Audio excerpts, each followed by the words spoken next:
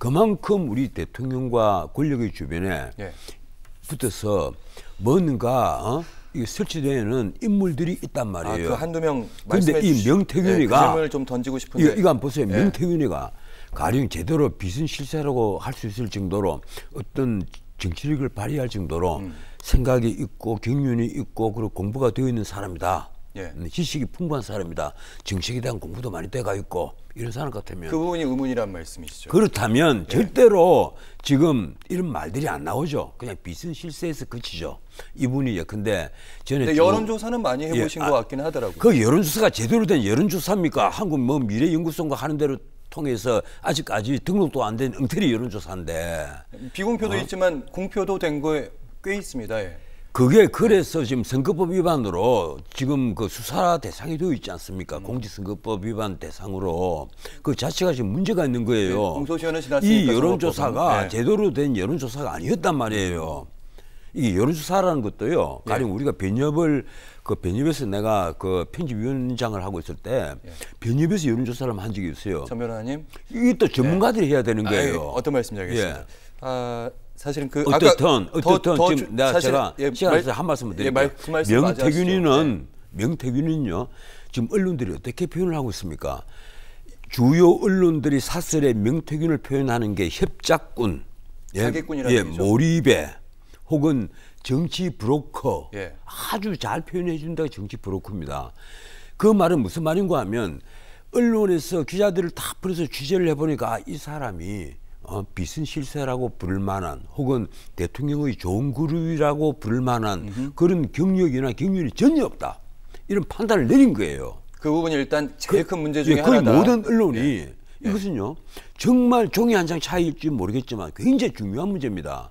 대통령에게 혹은 대통령 부인에게 어, 혹은 그 대통령 근처에 있는 다른 또 다른 중요 정치인들에게 네. 이것이 좋은 그룹이 되려면 그만한 경륜이 있어야 되고 그리고 뭔가를 알아야만 되잖아요. 그러면 전 변호사님 일단 명태균 씨 이름은 나왔고 아까 말씀 중에 잠깐 지나갔는데 아니 이러니까 그 질문 김영철이 국회에 만들어주고 예. 매달 세배 중에 절반씩 받은 돈이 지금 다 모으니까 9천만 원이다. 네. 이게 또 정치자금법 위반으로 수사 대상이 되어 있지 그렇죠, 그렇죠. 않습니까? 예. 얼마나 이 엉터리 같은 친구예요. 이게 사기꾼이란 말이에요. 바꿔 말하면 그러면 이렇게 듣기로는 이렇게 조언을 해주는 그룹이 명태균 씨 말고 조언 받은 것 같긴 하고 다른 이름이 떠도는 몇 사람이 더 있긴 하는 겁니까 실제로? 제가 듣기로도 있는데 그런 얘기는요 또 함부로 할 수가 없는 겁니다. 왜 그런가 하면 들으신 적은 예 모든 정치판에는 이렇습니다. 모든 지- 아니 어느 유세 현장 같은 데만 가보세요. 예. 거기만 하더라도 얼굴이 보이는 늘 보이는 분들이 두세 분이 늘 있습니다. 음. 우리가 가령 뭐 지분 유세 좀 해주세요. 그래서 가보면 악수를 해온 데 보면 늘 보이는 분들이 있단 말이에요. 언론에 크게 이름이 널리 알려지지 예, 않았는데 그, 예, 그리고 그런 분들이 또 하나 어디 대통령 그 선거 때 보면 그 배경에 있는 거예요. 어? 보면 기가 막힙니다. 그리고 전당대회 때 보면요, 이 대통령이 뭐 입장을 하고 하는데 보면 쭉 앞에 줄 쫙 서 있는데 보면 그 카메라 제일 잘 받는 곳에 보면 그런 사람들 늘 있게 마련이에요. 그건 비단 이 정권뿐 아니에요. 가령 예. 문재인 정부 때도 그런 사람들이 있고 그쪽에도 있고 이쪽에도 있고 정치판에는 늘 그런 추한 자들이 모여드는 거예요. 그게 자기들이 먹고 사는 호구지책이니까.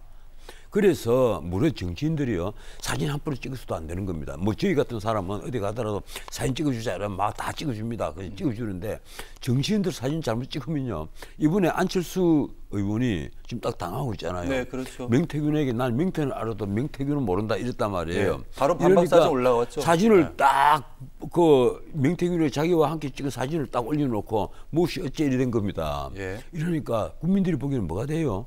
이거 봐라. 똑같은 옷을 입고 똑같이 사진을 찍어놓고선 뭐 명태균을 모른다고 명태만 안다고? 이런 식으로 돼버린단 말이에요. 예. 내가 보기에는 안철수 의원의 기억에는 명태균은 전혀 없었을 겁니다. 그렇게 함께 사진 찍은 사람은 수도 없이 있으니까. 알겠습니다.